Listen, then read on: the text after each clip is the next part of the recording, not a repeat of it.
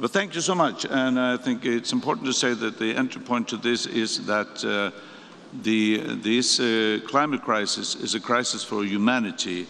And uh, we need to acknowledge now that by the time uh, the children of today reach uh, retirement age, they risk experiencing a world where uh, important societal functions in many countries will have simply broken down as a result of conflicts over water, uh, food, land.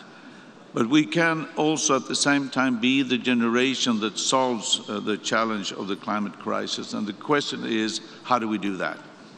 The answer is that we cannot only listen to scientists, but we need to take immediate action in every single area, not least uh, including industry. While industry is very uh, essential to our modern societies, heavy industry and uh, heavy goods transport also account for some 30% of all global emissions. So transitioning these sectors from grey to green will be key in the fight against climate change. And fossil-free industry will combine climate action with growing economies, long-term competitiveness and new jobs. Uh, just look at the example of HYBRIT present here today with huge potential of fossil-free steel.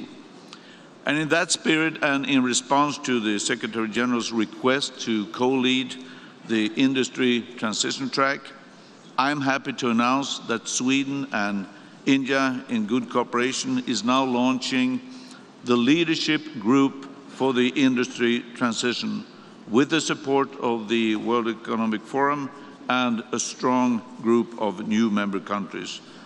Now, this group will support and accelerate the transition of heavy industry. It will assist sectors as well as countries in developing roadmaps for going fossil-free and also facilitate the necessary innovation and technology transfer. So we must act in every sector and um, with that in mind, I'm also pleased to share this with you. Sweden is already the largest donor to the Green Climate Fund. We will now double our contribution to the Green Climate Fund. Everyone, everyone has to do their bit for a just transition and this, the leadership group will deliver a real impact and I warmly invite those of you who haven't joined us already to please do so. Working together, we will tackle this crisis for humanity. Thank you. Thank you so much indeed, Prime Minister.